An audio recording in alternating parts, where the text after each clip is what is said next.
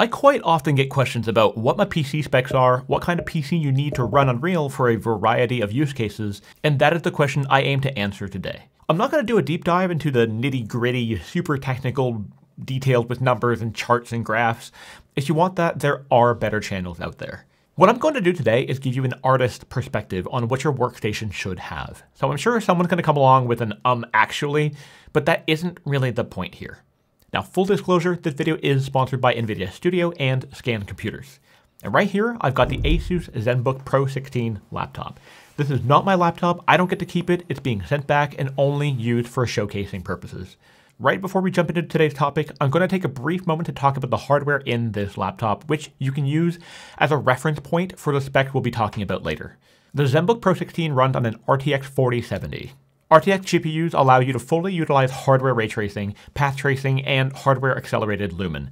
It has plenty of CUDA cores, which are used by a bunch of 3D applications like reality capture if you're doing photogrammetry. And since this is the 40 series GPU, you can benefit from DLSS 3, which can be used directly in Unreal to increase the snappiness and preserve details in the viewport.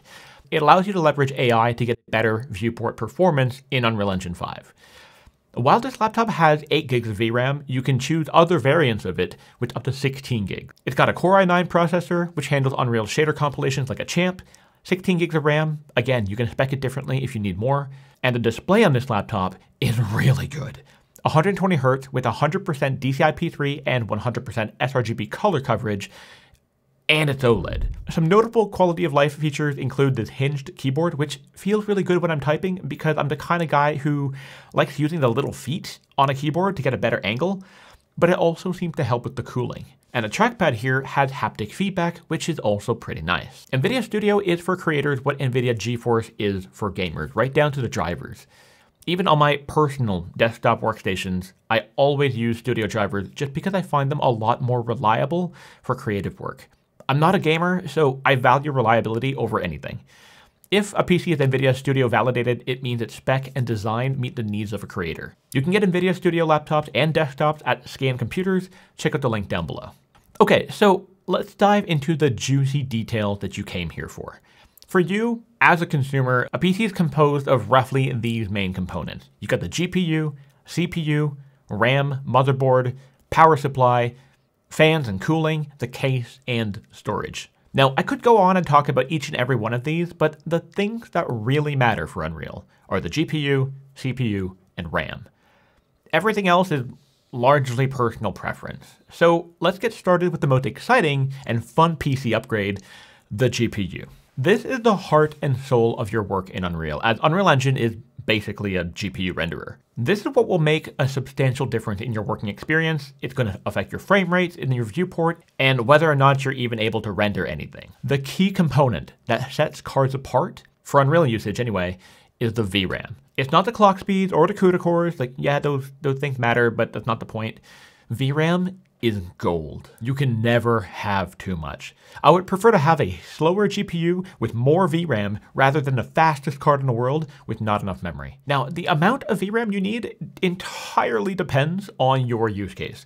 Are you making a mobile game or are you working in virtual production with huge LED wall for feature films? As a general rule of thumb, I recommend a minimum of 8 gigs of VRAM. Unfortunately, modern GPUs rarely have less, but the more you have, the better. A classic example I use all the time is comparing the RTX 3060 versus the 3070. The 3070 is a faster card. You'll get better frame rates, but the 3060 has 4 gigs more VRAM. Every little bit matters because here's the thing. If you run out of VRAM while rendering, you're going to have not just that, but once you run out of VRAM, your viewport experience becomes terrible to work with, completely undermining any benefits of a faster GPU anyway. So while a slower GPU with more VRAM may take longer to render shots, it will actually complete those renders without crashing. What use is the faster card if you're crashing all the time? That is why workstation GPUs like the A6000 with 48 gigs of VRAM are used on virtual production sets. It can handle insane resolutions. If you're rendering at a lower resolution like 720p or 1080p, 8 gigs is going to be plenty fine. But the moment you need to render in native 4K or even 8K, you absolutely need that VRAM. Resolution is the VRAM killer. It chomps and devours memory like no one's business. With that being said, you don't need a top of the line GPU to do good work. Some of the best work I've ever done in Unreal was done with a 2060 Super with 8 gigs of VRAM. This laptop here has enough horsepower to render out what I made three years ago on a desktop workstation, with the added benefit of it being a completely mobile machine. But also, you don't always need to render native 4K. There are so many amazing upscaling tools out there now, like NVIDIA DLSS, and Nuke, for example, has the TVI scale node that upscales 2x extremely well. DaVinci Resolve also has a similar feature. So with 8 gigs of VRAM, you can render your shots out at 1080p and then just upscale them to 4K in post with great results. If you need to render in 4K though, then I recommend a minimum of 16 gigs of VRAM. But 24 gives you a lot more breathing room. I'm definitely going to catch a bit of flack for saying this, but Personally, I find 4K to be largely overkill in most situations. Yeah, of course, it looks amazing. I'm not debating that. But my own monitor that I daily drive is 1440p, and that is the resolution I render most of my shots at. Resolution isn't everything. You can do good work with less. You might not know this, but most movies in the last 25 years have been mastered in 2K. Food for thought. Next, we have the CPU. And in my honest opinion, while the CPU is important, it isn't as important as it used to be for Unreal. Hear me out. Everyone at some point has been waiting long minutes or hours staring at this. Compiling shaders. It is the bane of any artist's existence. Things can take forever. Unreal is incredibly efficient at using the CPU when compiling, utilizing all of its cores, which is a good thing. So when comes the time to choosing, a fast CPU with lots of cores is going to speed up the compiling process, but the CPU isn't usually under heavy load when using Unreal or rendering. Of course, there are some exceptions here when you've got some very CPU heavy calculations like we have in the Matrix demo, but as long as your CPU is not bottlenecking your GPU, you can get away with something a little bit less expensive here, as long as you're willing to be patient with the shader compilations. You don't need monster CPUs like a Threadripper or Intel Xeons. I've done loads of work on Core i7s and Ryzen 7s. Both are mid-tier budget CPUs. A big, beefy, expensive CPU is going to be more of a quality of life upgrade rather than a mission critical one. CPUs mattered a lot more back in the day when you had to bake lighting. But with Lumen, ray tracing, and path tracing all being run off RTX GPUs, it's way less of an issue now. The CPU is not going to prevent you from working, unlike running out of VRAM. I'm sure many of you may disagree, but that's my hot take for today. Now, what kind of PC do I daily drive in 2024?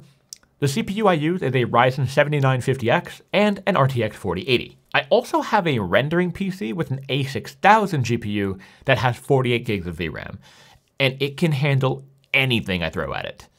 But why am I not using the A6000 as my daily driver? Uh, because it's really loud and runs a little hot because it's the blower style GPU. The 4080 by comparison is completely silent and has enough VRAM for most of my needs, but when I do need more, that's when I render off the A6000. As for RAM, I run with 128 gigs because I need it for procedural stuff or simulation sometimes, which brings me to my next point, RAM.